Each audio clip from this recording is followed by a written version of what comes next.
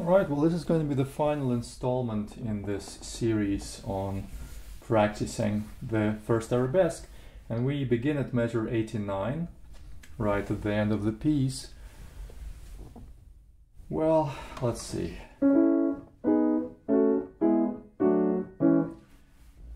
Another example of the so-called planing where you're taking these notes or these chords let's just look at the bottom note that you're playing in each chord. It's finger 5, C sharp, first note, then B, then A, then G sharp, then F sharp, then E. Again, just like we had somewhere earlier in the piece, we're using the notes of the E major scale and we're moving down the scale. Same thing with finger 4. E, D sharp, C sharp, B, and so on and so on and so on and so on. Same with finger uh, 2. And finger 1, which is the same exact note as finger 5. Alright, so that's the idea. But we have to play all four notes, or we actually have to not so much play all four notes in the same time, but prepare four notes in the same time.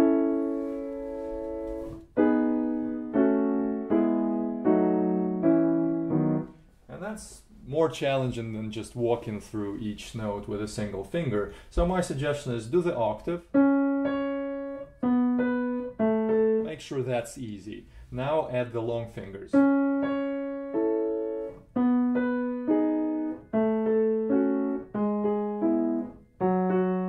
Or here's some D natural. So here we modulate slightly from E major to A major by uh, making that D natural right like uh, D natural at that location uh, be D natural instead of D sharp.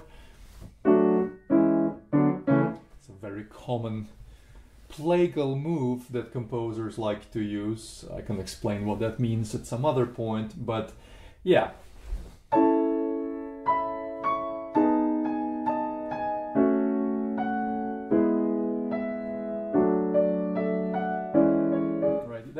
how you want to be able to play this passage before you play it like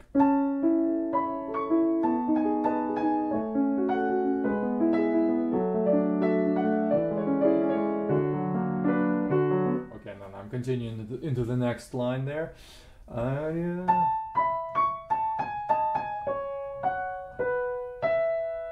in terms of fingerings I might even suggest it's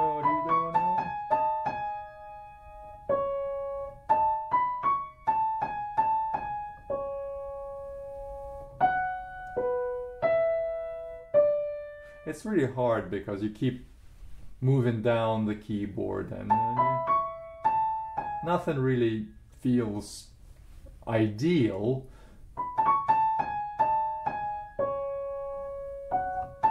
The nice thing is we do have pedal uh, in our arsenal, so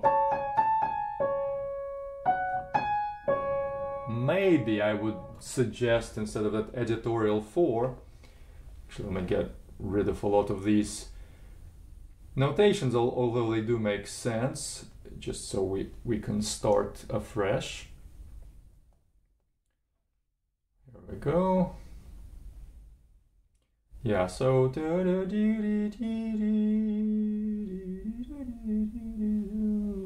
five here maybe as an idea.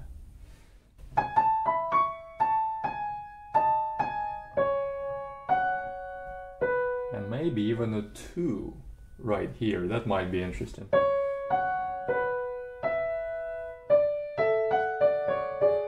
so on and so forth. Because that really takes care of some awkwardness when it comes to shifts.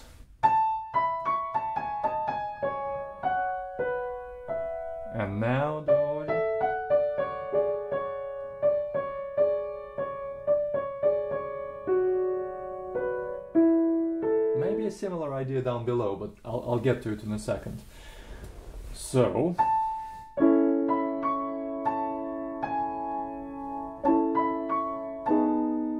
every time the pedal moves or pedal changes, we have to move, something like that, right?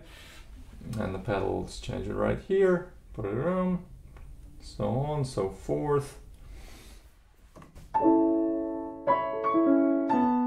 Just stop and literally check my positioning. Same thing, by the way, as before, uh, hand inside the keyboard. Because, just because. It's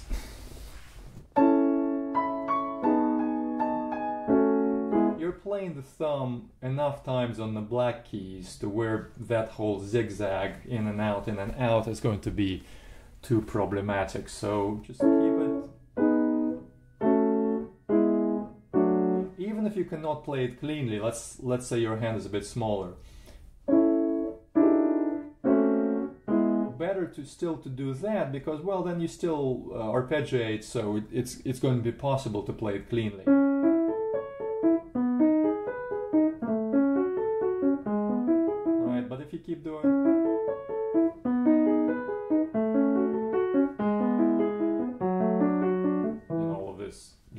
In and out. It's just an invitation for an error to creep in and make make the left hand's life pretty miserable. So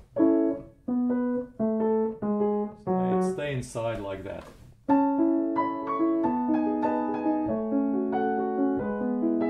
Okay, so um, not to jump ahead of myself, uh, stop, check, right, on that. Let's color it red.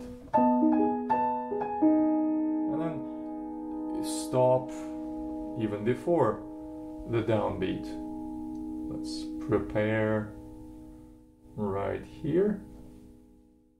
Of course, the big jump here. Just stop and check. Let's color it pink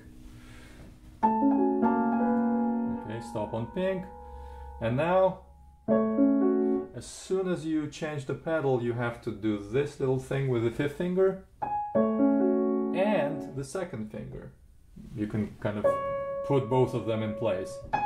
And continue.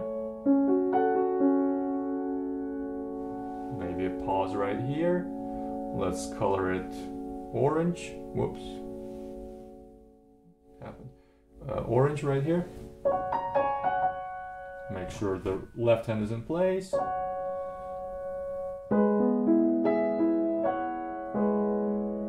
And as you play the B, instantly put this first finger on A.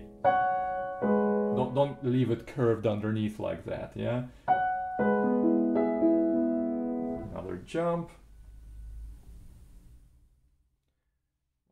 Basically jumps every every half measure.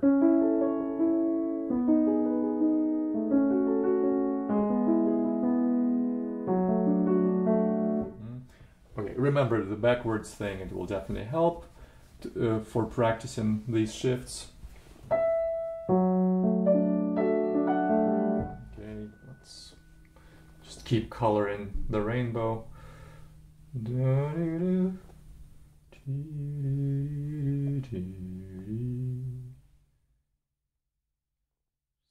right here. Okay, so that that's the idea. And uh, thumb there in the green and the green highlight.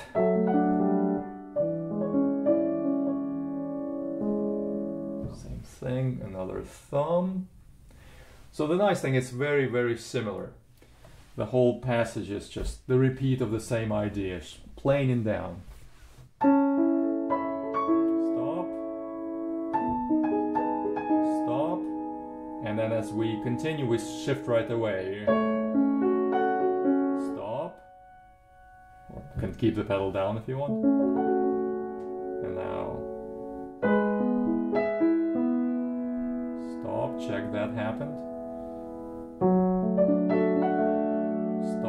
Green.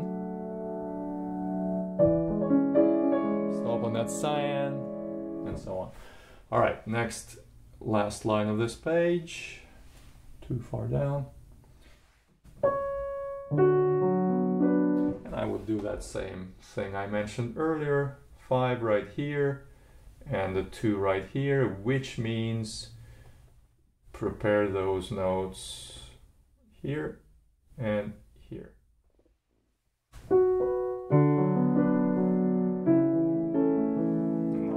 my color scheme afresh.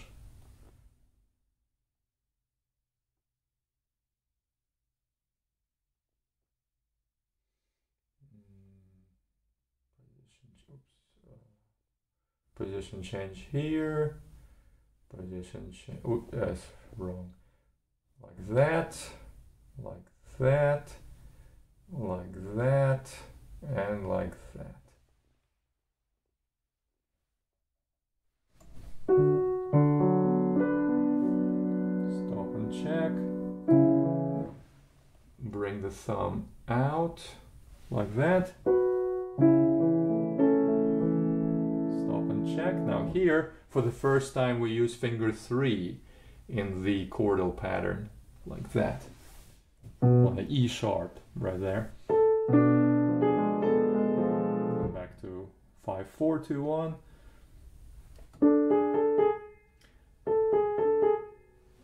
It's mostly just the thumb that needs to shift like that.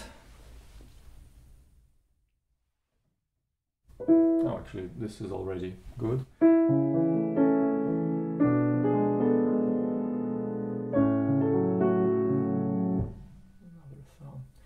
Again, you could technically move the thumb in the in the right hand earlier than those highlights because of course everything is pedaled but in my head it somehow makes it makes things simpler if I can coordinate some of these shifts in both hands at the same time. So sometimes you can do it, sometimes you can't, but when I can, I do it. Yeah, finger three on that F sharp here.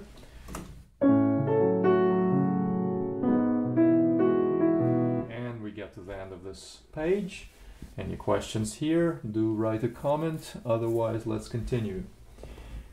To do to do to do to do to do to do. Stop. Yeah, and we get to the A and we get to, let me just get rid of some of those annotation layers.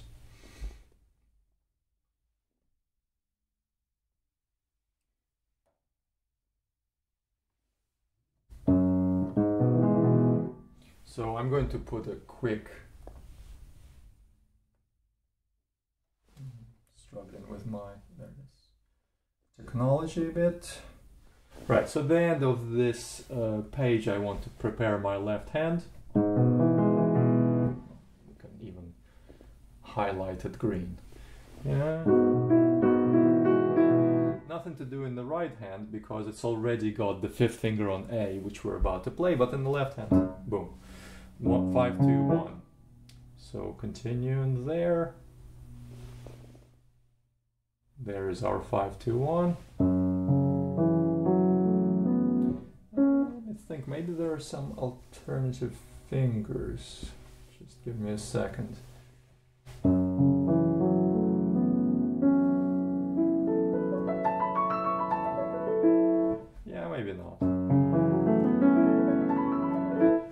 So uh, this passage is split between the two hands, uh, and I have it completely wrong. I apologize. There it is. Top of the page.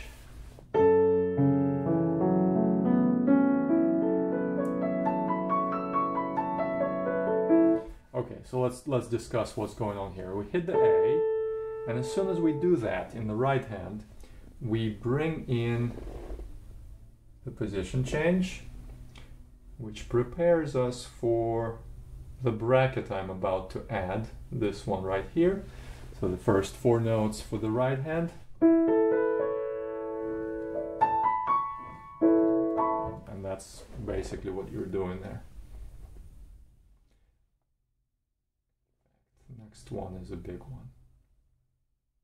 Because it also includes finger five.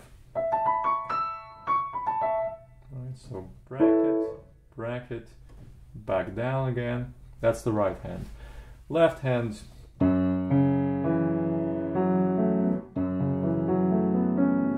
I would practice bracketing these three notes and shifting there right away. Forget the fact that you have that legato line. Your pedal is your friend, so there is your jumping note. And that jumping note sets you up.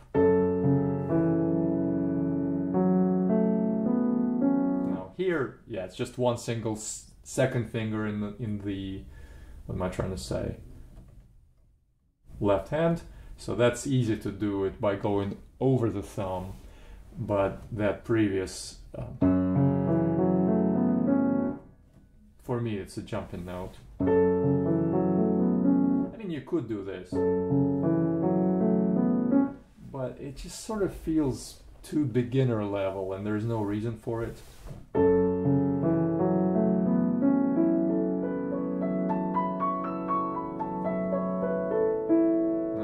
Guess what the problem with this current situation is? Yes, you guessed it. Uh, my left hand is stuck on C sharp, which means I have to put in a reminder to move The sooner you move, the better.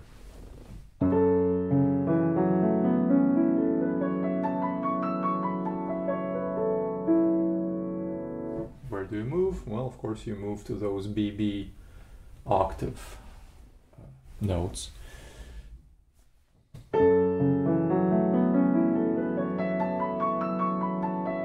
Mean, let's just go ahead and highlight it red. Add the red highlight please check your position on the left hand.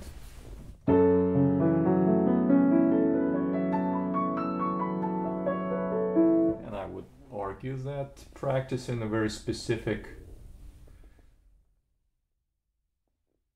jump like that is a good idea.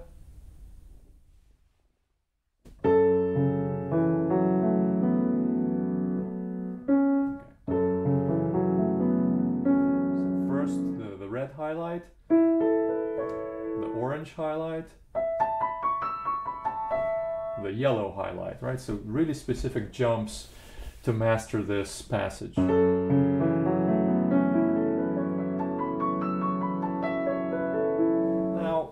Myself, I actually like to play my thumb inside the keys for such passages because I find otherwise it kind of feels like it's getting stuck.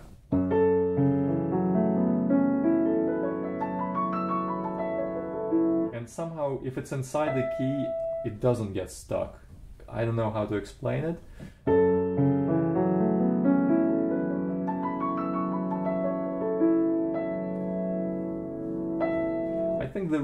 Is I'm playing it like this and my wrist is slightly higher.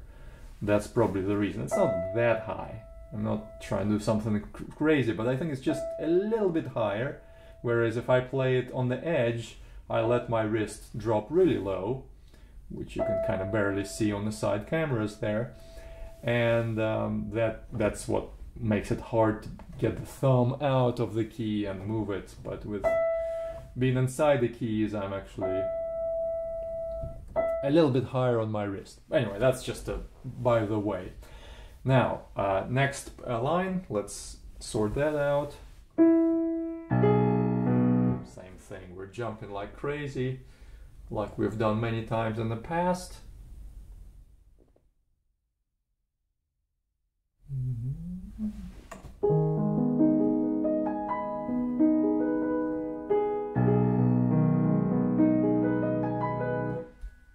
don't even know what the, the best fingering is, to be quite honest with you.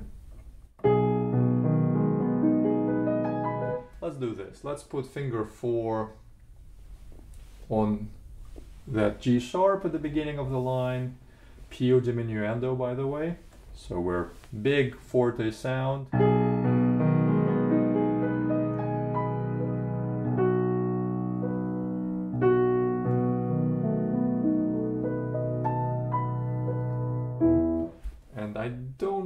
think there is a ritenuto, ritardando. It's just just diminuendo. So.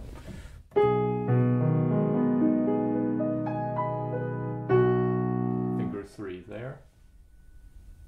Not four, three.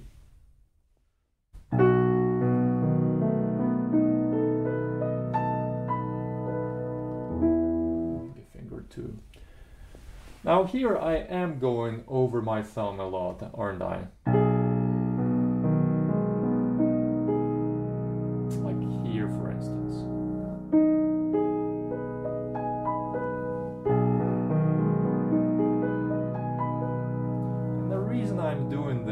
Because I can. Is because I can not not in the left hand. So let's let's first mark the red highlight here. That's just a jump. But in the right hand, while I'm holding that G sharp, I can quite easily bend my thumb underneath. I have plenty of time to do that. Therefore, two, four, the thumb is already underneath my hand, and then I just extend my hand once I uh, play that thumb. So my position change actually occurs with the plane of the of that note. Let's color it uh, pink. Yeah. But let's do let's do one one other thing, which is this,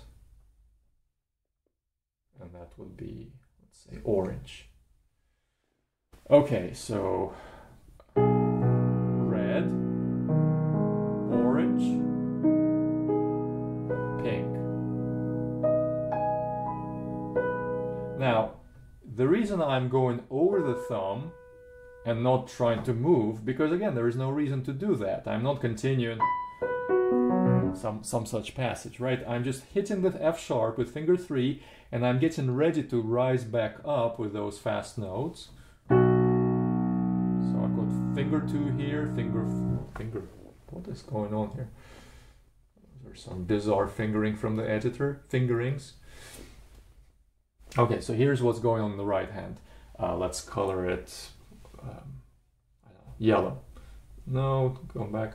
So at yellow, my thumb is actually bent underneath. I'm kind of trying to keep it on B. I know I cannot, but bent underneath my hand. And then I'm doing all the usual stuff in my uh, left hand and jumping back down here. So make sure to do the green and cyan, but here it is. With this conf- configuration of my right hand, the thumb is again bent underneath. So when I play the fourth finger, I'm ready to strike the B without needing to do much, and then I extend. So that's the basic solution of this passage. Two measures that basically do the same thing. Yeah, um, we have.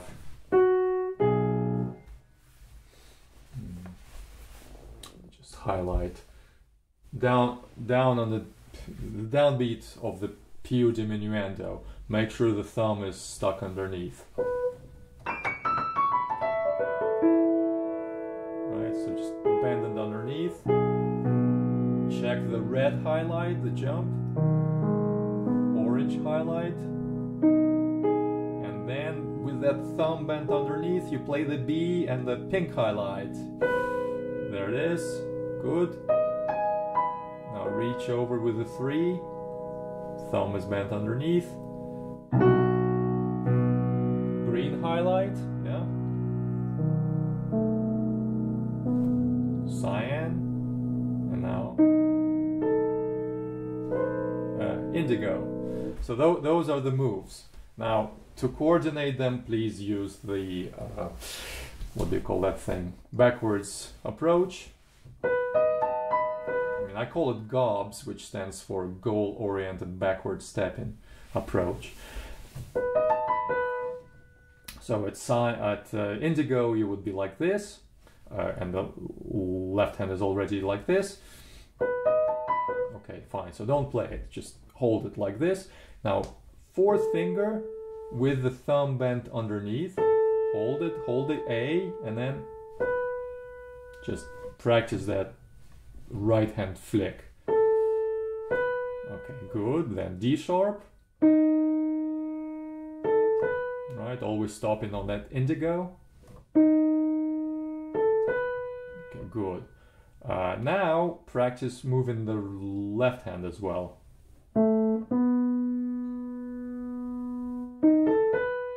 Okay, one more time. That was tricky because I had to move the left hand down and the right hand up. Good. And again, if you're finding it too tricky, uh, just reduce your, only do, go up to one highlight, right? So let's only do the uh, cyan. Oops, wrong, wrong way. There it is. And the right hand is just waiting. It's not doing anything. Okay, then A. Okay, cyan. D sharp, finger four. Okay, so just one jump. Then you go right before the green to the green. And then together the yellow and one more time.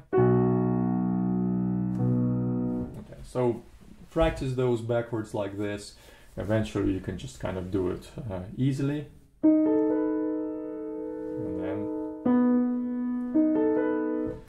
Start to combine multiple position shifts into a single practice segment. Something like that. But always, always, always choose your stopping point where you can freeze and check what just happened. Good. So I think we're very close to being done because this next line is exactly from our opening or in fact next four measures are from our opening. Let's color them some fancy color. Mm, wrong.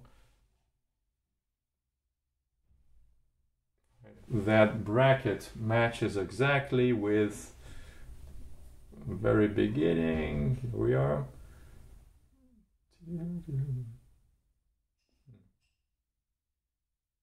Hmm, I'm, I'm finding it hard to find the place. Okay. Uh, yeah, I have a lot of highlights, I apologize, but basically it's right here.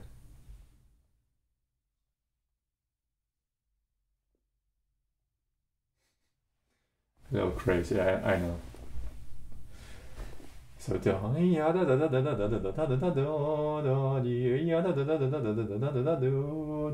So if you need some uh, practice guidance on this passage, in the end, uh, go to measure six through nine, seven, eight, nine, six through nine. Okay, let's go back to the last page. There we are. All right, so skipping that bracketed section and going right to the coda. Starting at the end of the bracket, we have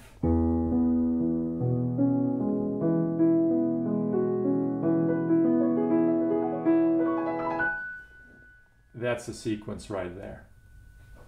Just repeats up an octave, up an octave, up an octave. Reduce my zoom just a bit.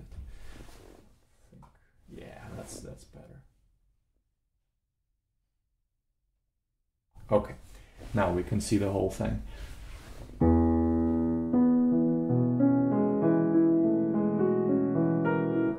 Really screwing up.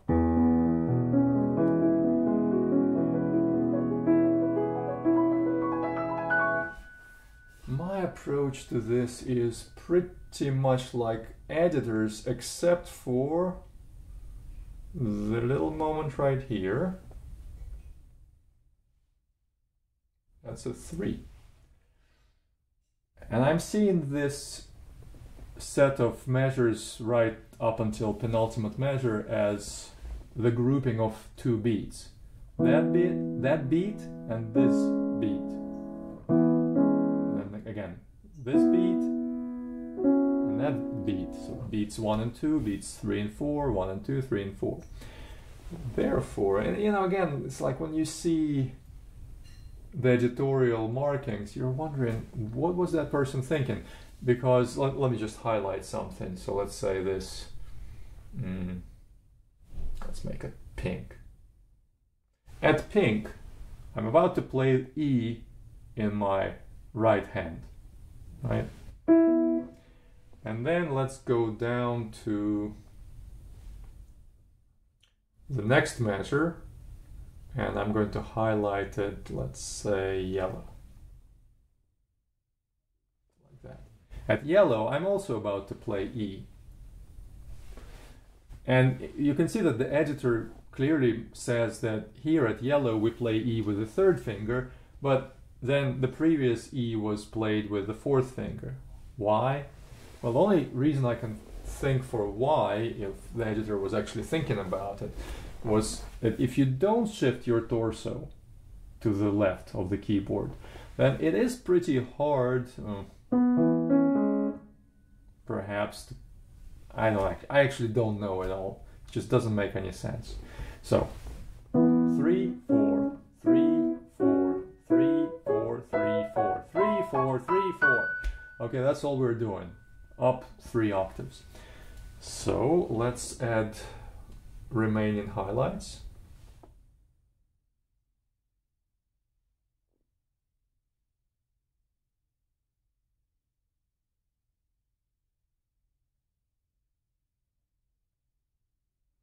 Okay.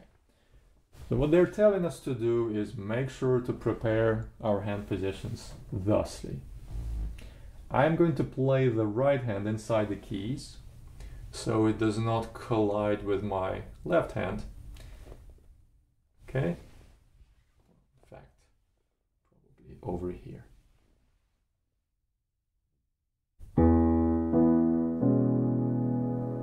Move at pink.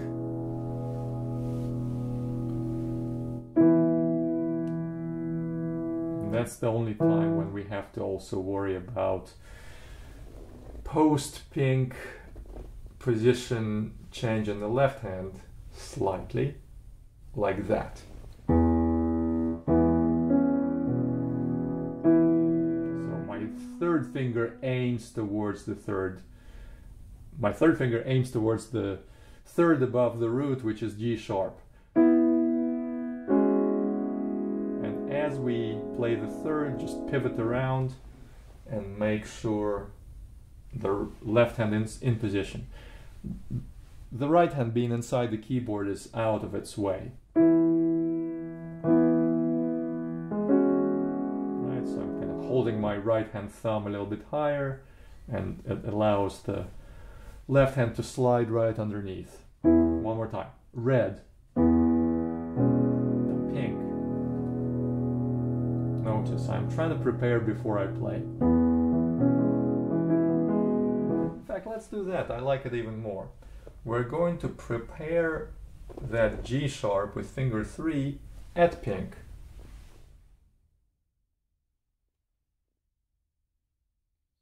All these.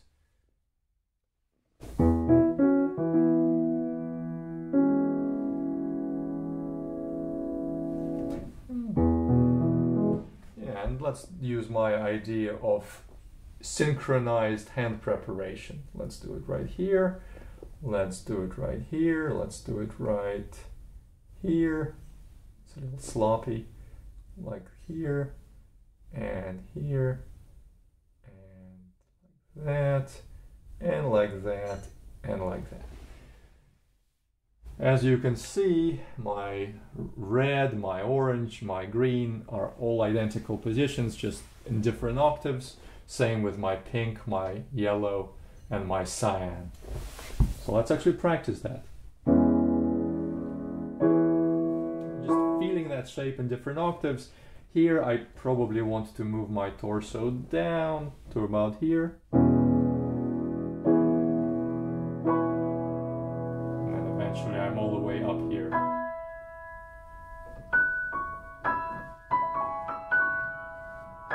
Actually, why? And check this out.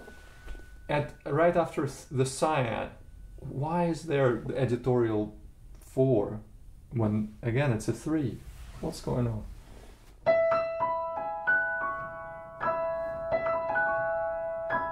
I don't know. I mean, what you play after Indigo, it doesn't really matter. That's really important. Jumping note. Okay, so let me just work through backwards on that final rise and passage and that'll be the end of this tutorial and you can happily practice and forget about everything I just told you. Here we go. At indigo we're like this. At cyan we're like this. So we're going to play, but that's too many notes. That's six notes to play before indigo. So I'm going to only play the last note right before indigo.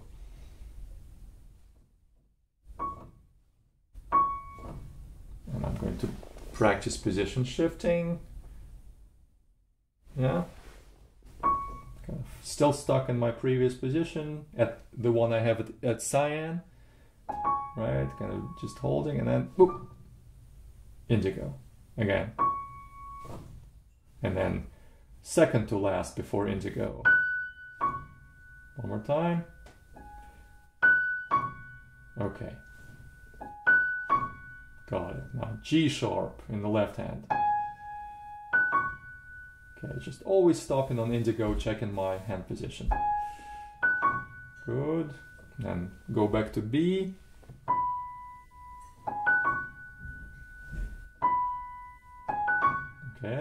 finally E, the one you see in red, the red finger number.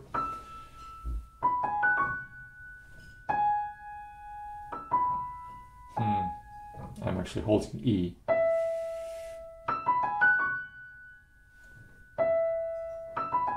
Okay. Now I've kind of worked through that entire segment from the beginning of cyan all the way into indigo and I have some glitch on my side view camera for some reason.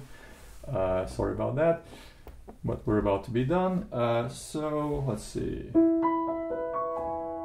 Then of course you work backwards from uh, before indigo, or not sorry, from before cyan all the way back to green. So let's do that. I'm actually going to cover up this annoying flicker. There it is. Still flickering. Wow. I'm going to disable it somewhere. Nice. All right, here we go. Uh, boom. I'm going to buy a new camera because I think that one isn't very good.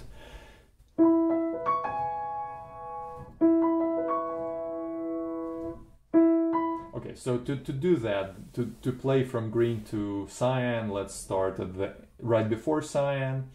So holding that G sharp with finger two and practicing the position shift.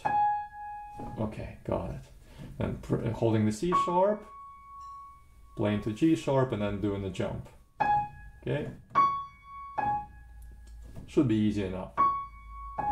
But I, th- I, I just hope you're appreciating compared to what the notes are to that position shift how much harder the position shift is compared to just pressing the notes down.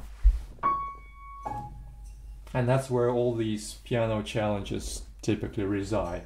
It's how eff- efficiently do you shift your position to where you need to be. So uh, holding that B, let me show it with that. Okay, holding the B, now I'm going to hold the E.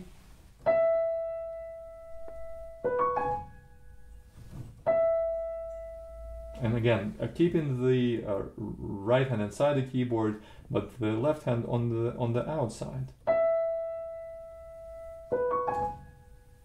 Yeah, see that? Cyan is not easy. I'm leaning over my right hip, or not leaning, I'm rolling over my right hip. So I'm already compromised in terms of my lower back. Uh, in fact, if I'm practicing for a long time, I'm just going to scoot over and sit on the right side of my chair um, to make it a little less hard on my lower back.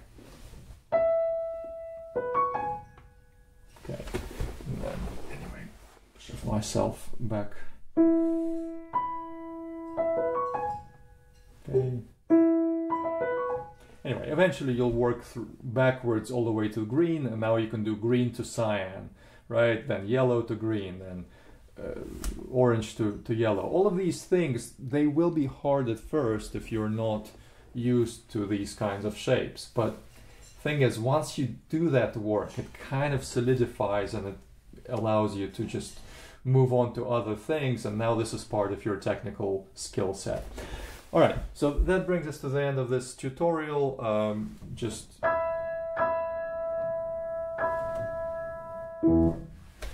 decide how you want to play that final E, whether pedaled or a little more abrupt. But other than that, uh, that's the piece. Quite a few challenges, but once you know what you're doing, they're all completely manageable. So uh, again, write me some uh, nice and not so nice comments so I get some feedback as far as the usefulness or lack thereof of such a video and uh, see you in some other piece uh, in a different era perhaps uh, but uh, all the same kind of piano challenges as before no doubt. Okay uh, see you soon I hope